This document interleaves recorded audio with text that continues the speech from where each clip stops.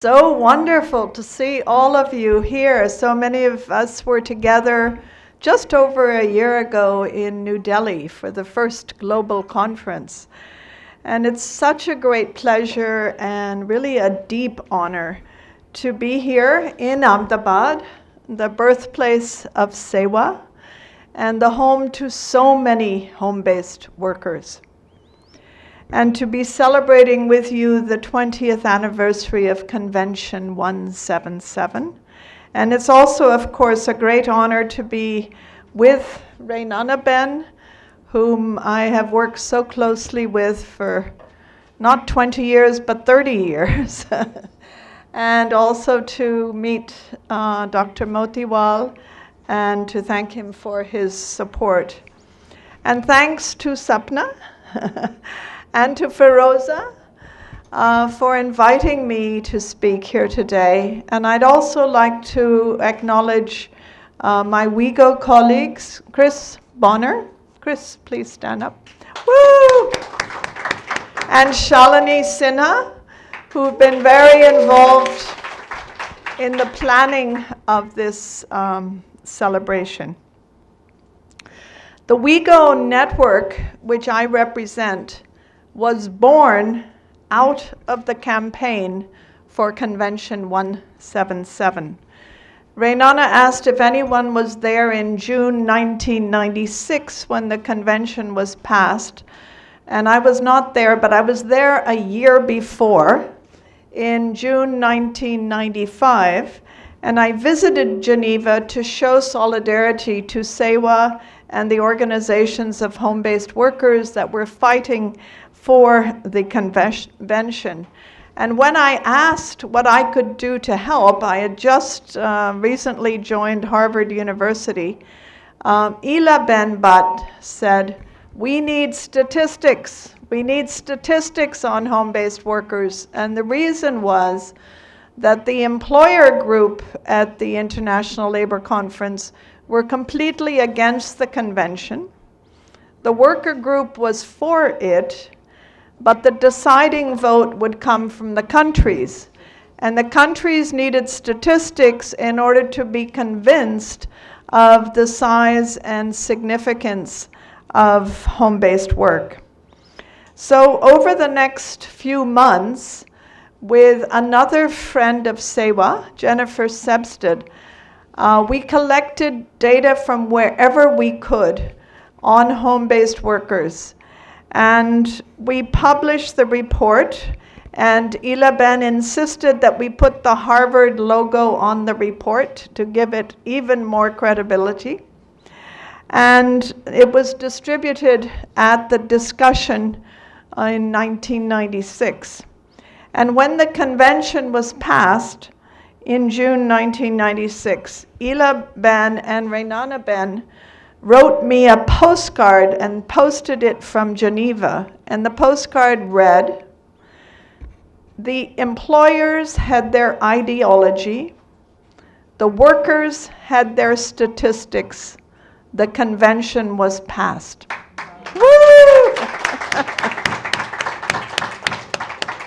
And so WIEGO was born out of this belief that statistics in the hands of workers is power.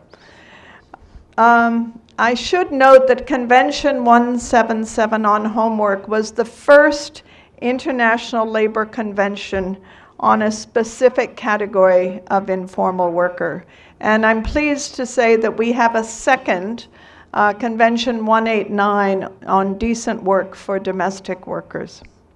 But back to Convention 177. It called for the recognition of home workers as wage workers, as workers. And it called for recognizing those who gave out the work to the home based workers as employers, even if they distributed the work through intermediaries or contractors. It called for equal treatment, uh, the same treatment that other formal wage workers would get including the right to organize, freedom from discrimination, social protection, including occupational health and safety, as well as maternity benefits, and it called for fair remuneration. It also mandated um, that in home workers should be included in national labor force statistics, and it called on the member states to ratify the convention and to implement it through national laws, policies, schemes. And so, over the past 20 years, I think it's 10 countries have ratified the convention, and all but one of those countries is in the global north. So we have our work set out for us. The one in the global south is Argentina. So we do have a, our work still on getting the convention uh, ratified. But several countries, or maybe just a few, have uh, taken provisions in the convention and implemented them in um, national laws. And I know that we take great pride in HomeNet Thailand having gotten a national law on home based work in Thailand. So, my remarks, I'd like to look back and look forward. So, looking back, I am amazed at how far home based workers and their organizations have come over the past two decades. In 1996, there was one regional uh, HomeNet. That was HomeNet Southeast Asia. Today, in 2016, we have three regional HomeNets. In addition to Southeast Asia, we have, of course, HomeNet South Asia hosting this celebration. We also have HomeNet Eastern Europe, which was represented at the global conference last year. And we're happy to say from the WIEGO network side that we have identified and begun to work with um, producer groups or small co ops of home based workers in four countries in Africa, and with producer groups and trade unions of home based workers in six countries in Latin America. And we promise to continue to support those. In 1996, Home based workers, their activities, their contribution to the economy was not widely recognized or well understood. Today, in 2016, there really is far greater recognition of home workers and far greater recognition that home based work is not a traditional activity that will go away, that it's part of modern global production systems and that home workers, as Renana Ben said, can be found in a wide range of uh, sectors or branches of the economy, from the traditional labor intensive garment making, textile weaving, shoe manufacturing, craft production, um, food processing. So much food gets processed and cooked in homes for the market electronic assembly, as Renana Ben said, and packaging of pharmaceutical and other products. And I just hasten to add that in India, modern India today, where we are, that one in three women workers in outside of agriculture is home based. Um, and if we added agriculture, it would be far higher. And one half of all manufacturing units in modern India are home based. So we're beginning to get a really clear picture of the size and contribution. In 1996, through the convention, home workers uh, secured major recognition that they were workers and particularly that they were wage workers, dependent on people further up the chain. Um, today, in 2016, home based workers have also secured recognition of their home as workplace, of their need for secure housing tenure and basic infrastructure services. And I think another th- um, concept that has emerged it's not a concept, it's a reality, but we've been able to highlight it, is that the home worker in these global value chains covers most of the non wage costs of production, other than the raw materials.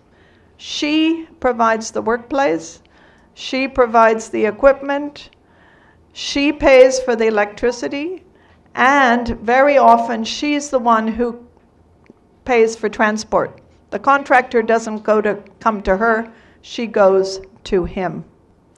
So I think we have come a long way in sort of highlighting these additional needs and concerns of the home based workers. In 1996, when we gathered the statistics on home based workers, only seven countries had national data on home based workers. Today, 2016, over 50 countries have official data on home based workers. So we've come a long way in many regards. I'm also amazed looking back just over the past year since we all met in Delhi last year. And I should note that the global conference in New Delhi in February 2015, there were over 100 home based workers and their supporters from 60 organizations from 24 countries which is no mean achievement. And these participants adopted the Delhi Declaration. So in 2000, we had the Kathmandu Declaration, which was a regional declaration, but the Delhi Declaration was a global declaration of home based workers. And this calls for, of course, the ratifica- ratification and implementation of Convention 177, but in addition, it calls for better housing, basic infrastructure services that they need to make their work more uh, productive. Over the past year, since Delhi, home based workers have taken part in a delegation that went to the International Labor Conference in June 2015 to fight for key provisions in another kind of ILO standard, something called a recommendation, not a convention, has a little less power than a convention, but still it's a recommendation with a capital R. And this is recommendation 204 on the gradual transition from informality to formality. And some of the key provisions that home based workers and others in the delegation have gotten into that recommendation is one that most informal workers, including home based workers, are vulnerable. They're not plucky entrepreneurs trying to escape taxation. And they need legal and social protection. And the other key, key provision, there's several, but another one is that during the transition to formality, the livelihoods of the workers need to be preserved. So, major achievements for home based workers and other um, informal workers. The home based workers, maybe at the country level, I don't know, but I don't think at the international level were involved in the campaign for the Sustainable Development Goals. But throughout these new goals, um, there are provisions for decent work, productive employment, basic infrastructure services, inclusive cities, many of the things that home based workers and other informal workers have been fighting for. So it's a very important moment that we have Recommendation 204 and the, social, and the Sustainable Development Goals. Uh, in addition to the convention, they reinforce each other and can be used. But also, um, over the past year, home based work, the home as workplace, has been recognized in the preparations for Habitat 3, which is the third UN conference on housing and sustainable urban development.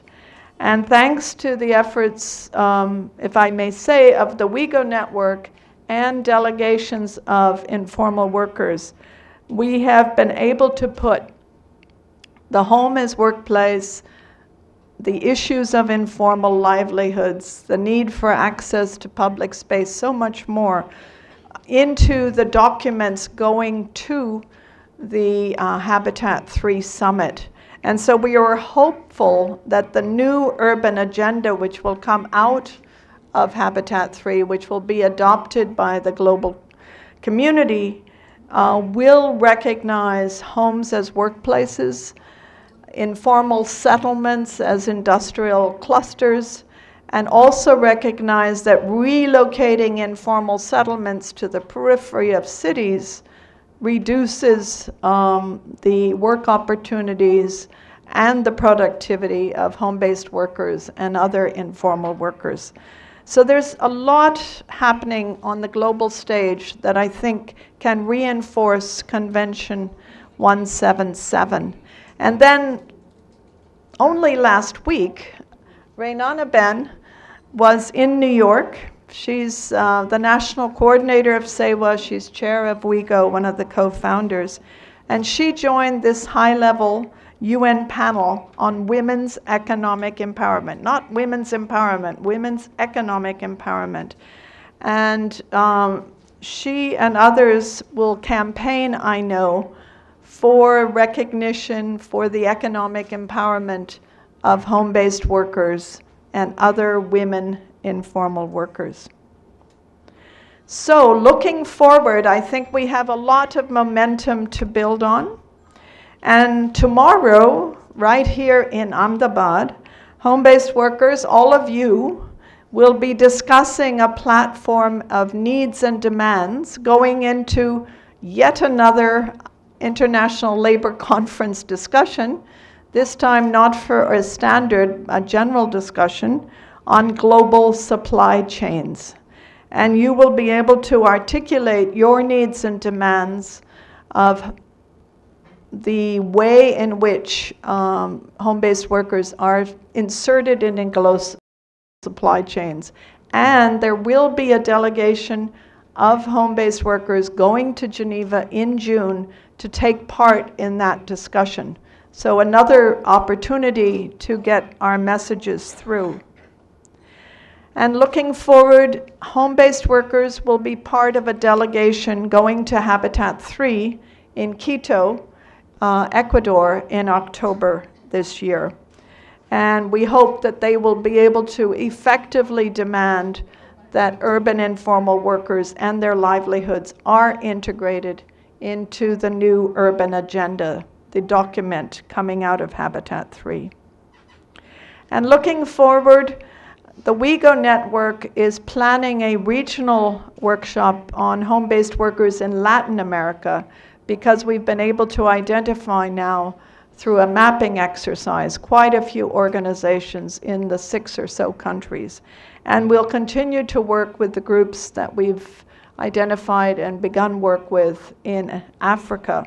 And so we're really hopeful that the home-based workers and their organizations in Africa and Latin America will join hands with the home nets in Southeast Asia, South Asia, and Eastern Europe, and that we may, in fact, be moving towards a global alliance of home-based workers in the near future.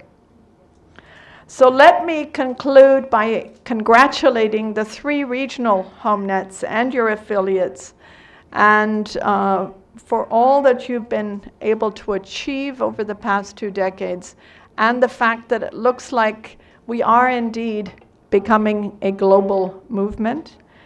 So, three cheers and best wishes for the next 20 years.